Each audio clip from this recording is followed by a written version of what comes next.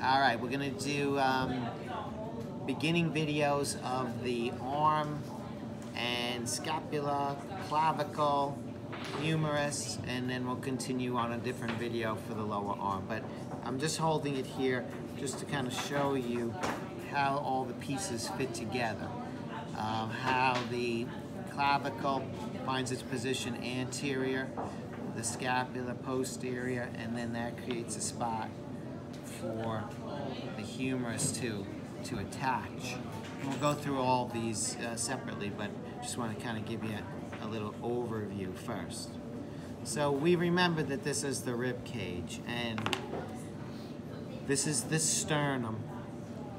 We have manubrium, body, and xiphoid process. We have a couple of notches in here. This, these are clavicular notches because that's where the clavicle is going to connect. And then we have the jugular notch. So let's talk about the clavicle first. Okay? I'll just leave this here in the back for a moment. So it has two ends to it. Okay? I refer to this as the blunt end. That's the sternal end. That's going to attach to the manubrium in the clavicular notch. Refer to this as kind of the flat spoon end. That's the acromial end, and that is going to articulate with the scapula at the acromial process. So if we hold this together best that we can, we have an articulation here at the sternal end, and we have an articulation here, not going to happen very well, at the acromial end.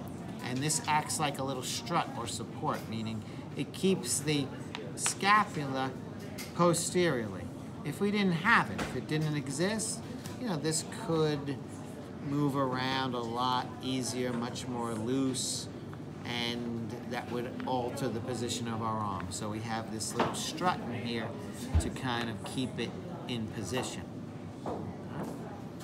So this is pretty simplistic.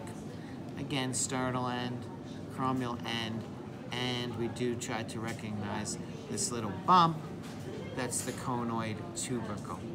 Okay, that's where the subscapularis muscle is going to, uh, subclavius muscle is going to attach, subclavius muscle.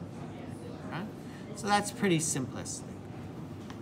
This, on the other hand, is not. This has a lot more parts to it. And again, we're holding it here in position. So let's flip it over. Okay. And here we see the scapula. A couple of things to, to uh, review. You see that the pointy end is, is facing down, so this is inferior. Uh, the wide area is at the top, that's superior. The long, smooth border is closest to the spine, that's medial. Uh, this border, ending in the joint surface for the humerus, is the lateral border. So we get some bearings. The smooth underside that rests against the rib so it can move easily is the anterior aspect and the big spine is on the posterior aspect. So now that we have the orientation, we can kind of go around the horn with the parts.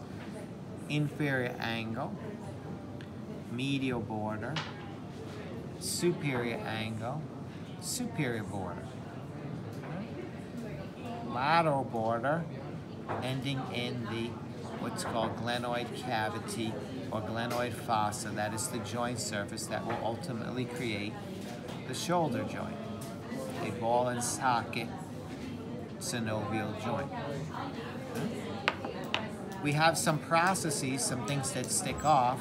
You have a big, robust spine, spine of the scapula, ending in the acromial process or acromion. That articulates with the acromial end of the clavicle. You have this little finger-like projection, that's the coracoid process. It's a place for muscle attachments of the upper arm. So coracoid process, acromial process, spine of the scapula. Finally, we name the surfaces. The sur smooth surface below the spine, infraspinous fossa. This is where muscles of the rotator cuff live. The infraspinatus muscle, the teres major minor.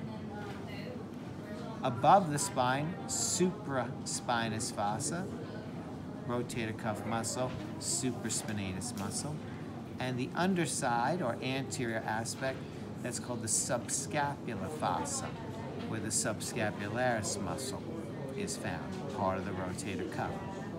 Okay, all those muscles, five of them, like my hand is the muscle tissue, come and attach to the humerus and are moving and rotating the humerus. That's what the rotator cuff does.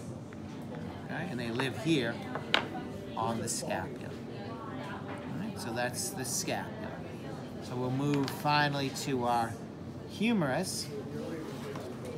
Right? And like we said, the head of the humerus forms the shoulder joint, or known as the glenohumeral joint, glenohumeral joint. Right? So head, the bone just below the head is called the neck, anatomical neck. The piece that sticks out, right, so it's this little bump out here, so here's the head. Opposite the head, this is a tubercle. Then you have a groove between another tubercle. So this is a small tubercle, lesser tubercle. This is a big tubercle, greater tubercle, and intertubercular groove between the two tubercles. They refer to this as the surgical neck. Then we come to the shaft or diaphysis.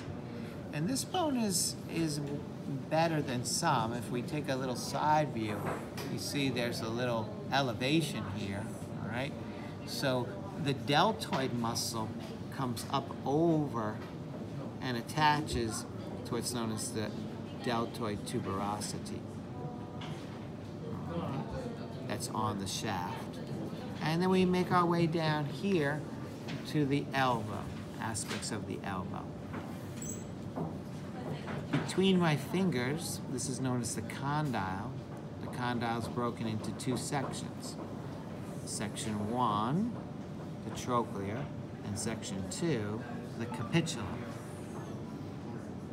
The bone on either side of the condyle, epicondyle, epicondyle.